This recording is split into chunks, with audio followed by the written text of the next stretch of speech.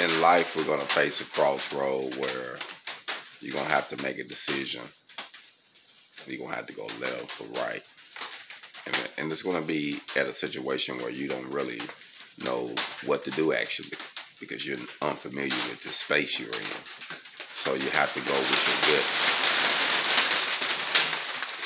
It's raining outside right now, and I was just thinking about how we go through the storms in our life during that time when we at that crossroad. And I just wanted to say that go with your gut. Do what you know is right.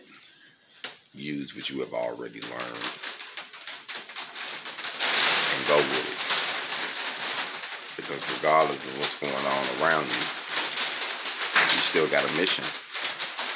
Just find that strength within you to keep to, to keep going actually and just keep knocking on them doors and keep doing what you got to do. Remember your reason why you're doing it. And as long as you remember your reason why you're doing it, it'll be easy to continue what you're doing. Hold on.